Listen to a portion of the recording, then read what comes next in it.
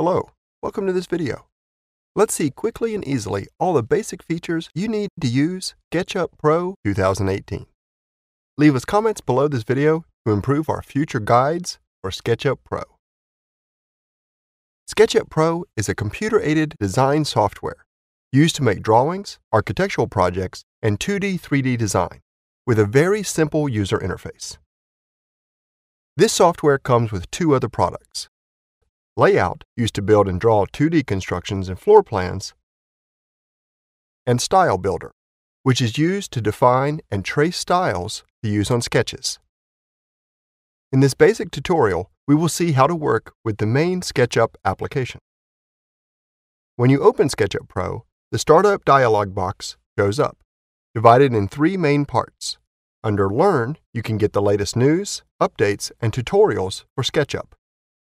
Under License, check the status of your license, and under Template, choose your favorite ready template to start from. Each of these fix the measurement unit and get your project optimized on either internals, general environment, or even 2D constructions. To see how SketchUp Pro works, let's start a new project by using a basic, simple template. Just choose it from the list and then click on Start using SketchUp in the bottom right corner. The new project opens on the SketchUp workspace with the overall preview in the center. Several drawing and editing tools are on the toolbar on the top, and lots of windows and panels on different features collected within the default tray on the right. Both the toolbar and the windows start with a default list of tools and features. You can extend the toolbar by right-clicking on a vacant space and open additional windows inside the default tray by using the Window tab. The project preview has three main Cartesian axes used to locate objects and define directions, such as the horizontal one through the red x-axis, the vertical one with the green y-axis, and the height from the ground through the blue z-axis.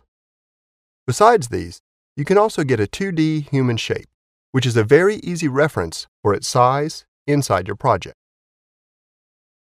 Now, let's see how to draw 2D and 3D objects with SketchUp Pro.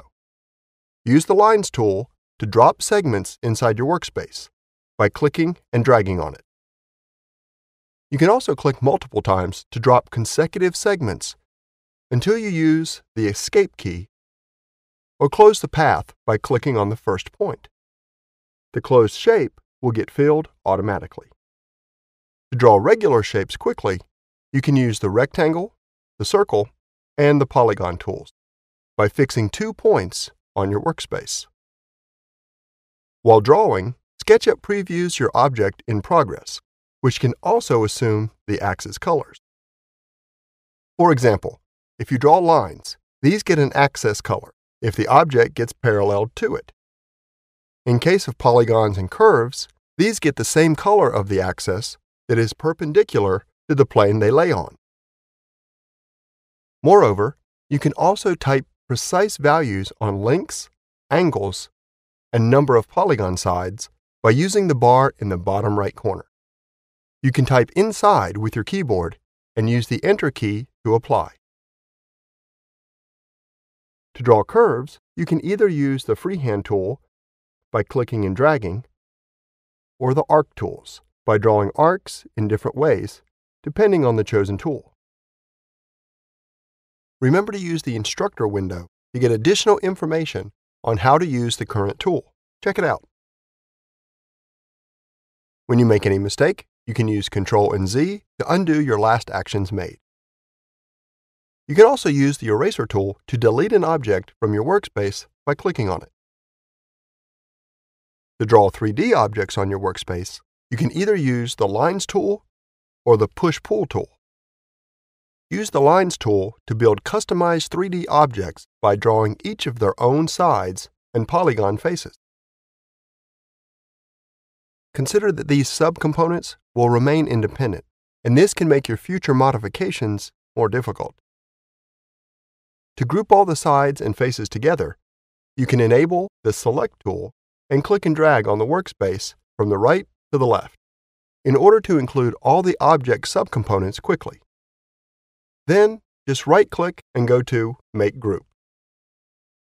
This way, the editing tools will act on the whole 3D object and not on its subcomponents singularly.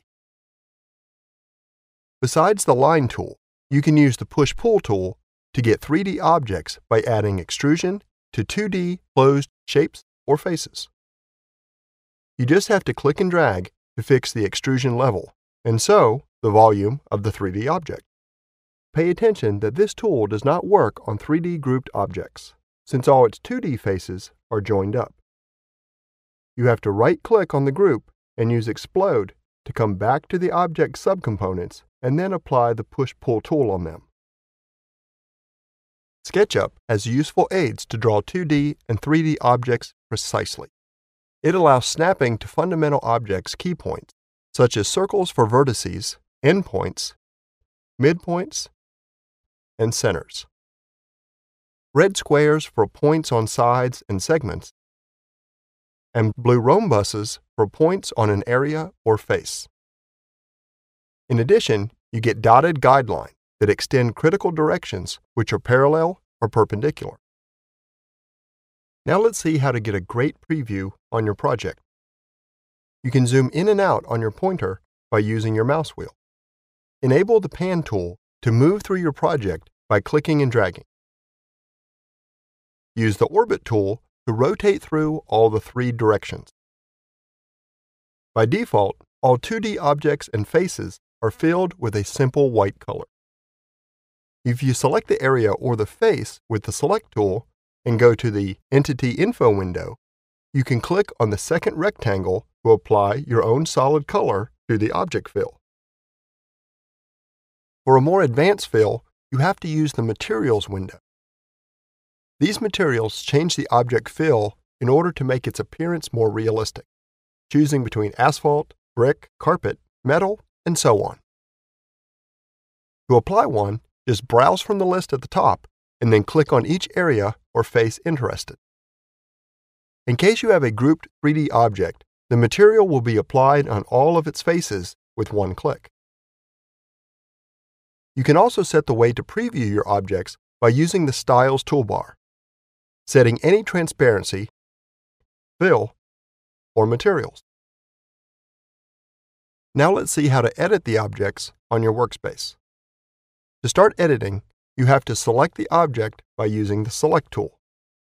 You can also select multiple objects by holding Control down in order to edit all of them in the same way. Click Elsewhere to deselect all. Use the Move tool to move and place the object by clicking and dragging it. Dotted guidelines help you from following the axis direction. Use the Rotate tool to rotate the object by fixing an anchor point, an axis, and then the inclination angle. The rotation is made on the plane where the goniometer is placed. Use the Scale tool to scale an object by moving the green cubes you see the object will be scaled through the direction fixed by the couple of opposite cubes selected. Pay attention that if you scale an independent face, the whole 3D object will adapt to its new size. Use the Offset tool to create a 2D shape by applying a fixed distance, or offset, from an object perimeter. Just click on the area or face interested, and then click once again to fix the offset and the shape. While editing your objects, remember to use the Escape key to apply or use Ctrl and Z to undo. To cut, copy, and paste an object, just select it and then use Ctrl and X, Ctrl and C, and Ctrl and V. SketchUp has also made drawings and annotation tools available. Under the Components window, you can browse for a ready-made object template that you can import inside your project by clicking and dragging. You can go on customizing it by right-clicking on it and going to Explode. To add and type any text, you have to use the Text tool. Use the text tools to add labels and descriptions to your objects, stating names, length, and area measurements that are adapted to the preview point of view. You can use this tool to place text that does not move or rotate. In this case, just type inside and then click outside to apply. Use the 3D text tool to design independent 2D or 3D text on your workspace. You can find this tool inside the construction toolbar. When you click on this tool, you can type text under Place 3D Text. Adjusting font properties, style, and size. At the bottom, choose between 3D text and 2D text with extruded. And apply any fill with filled. When you click Place, you generate the piece of text and you also can place it where you like. You can edit and manage text as seen for standard 2D and 3D objects. You can further personalize the text object by right-clicking on it and then going to Edit Component. This allows to edit and manage each of the single sides and faces composing the text. Once you click elsewhere, the piece of text will be grouped again. Now let's see how to save and export your work. To save your project, go to File, and then to Save As. The SketchUp project files use a .skp file format, saving everything from your drawings, including their structure and property. Thanks for watching this video. Visit our channel and subscribe to learn more about the most professional software out on the market.